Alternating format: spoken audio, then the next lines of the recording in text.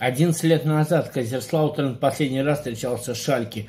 Та игра, вернее, та сессия игр закончилась для Кайзерслаутерна неудачно. Команда вылетала, и Шальке, тогда имевший россыпь таких мостови... маститых игроков, мостовитых, даже где в каком-то плане мастодонтов, проехался как по немецкому автобану. Кто не помнит, на тот момент у Шальке были следующие игроки. Ян Клаас Хунтелар, Рауль Гонсалес Бланко, Матип и Тима Хильдельбранд. естественно, та игра стала легкой прогулкой для набирающего в тот момент оборота Шальки.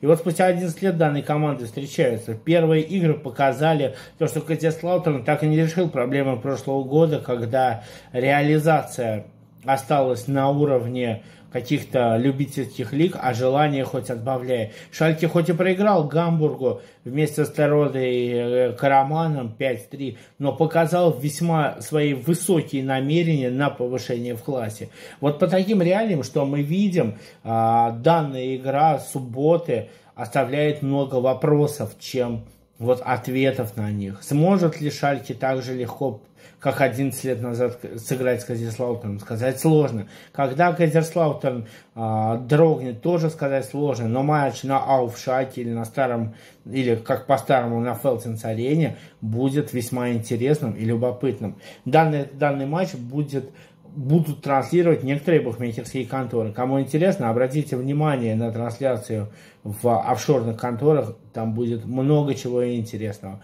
А на этом все, друзья. Спасибо за внимание.